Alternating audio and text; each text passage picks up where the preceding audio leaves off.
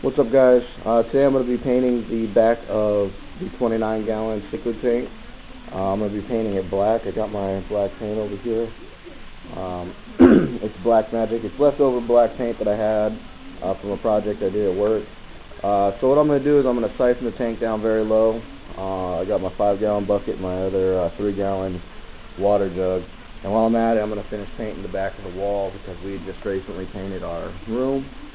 So uh, I'll bring you a video here when I uh, when I get it all drained.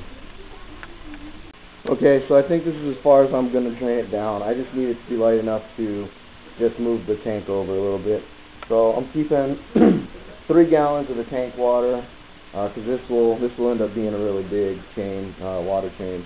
And then I'm keep I'm keeping all the the rock and the driftwood and the plants uh, submerged in water uh, so none of the bacteria on them dies. Um, so I'm going to go ahead and uh, move the tank and I'm going to wipe down, there's a good chance for me to wipe down all this brown algae off the, the back and the front of the tank. So I'm going to go ahead and do that. And you can actually get a shot for once of all my fish all clumped in one corner. So, alright, next clip I'll be painting it. Uh, I think that'll be the next clip anyway. Alright, so I got the tank moved and I got all my algae cleaned off, so I'm going to be ripping off this uh, paper background and wiping down the back of the tank and then I'm going to start painting it.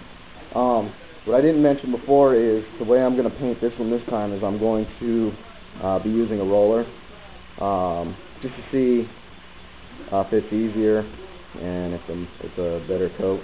Uh, if it ends up being any easier and it puts down a thicker, heavier, you know, uh, better coat, I'm going to probably paint the back of my 125 one more time with it just to make sure I don't have any light coming through.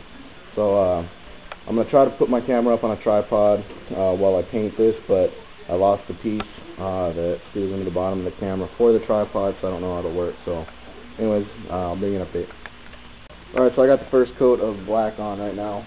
Um, sorry I forgot to set it up on a tripod, but um, I'll go ahead and set it up on a tripod for the second coat. I'm going to let this tack up a little bit and uh, I'll roll the second coat. What's up guys? I uh, got the back of the tank all painted.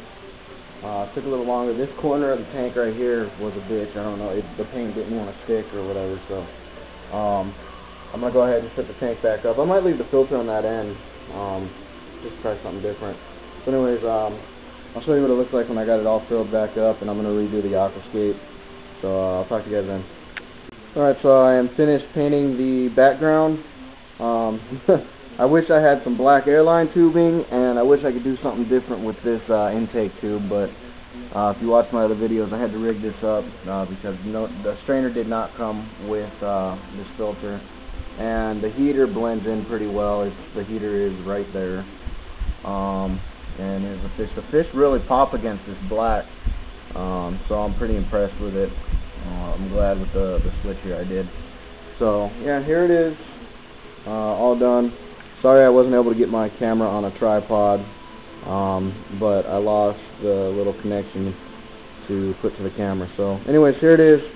Um, rolling it, rolling the background was uh, a lot easier than spray painting. Um, no, no fumes that you're getting ready to pass out over or anything.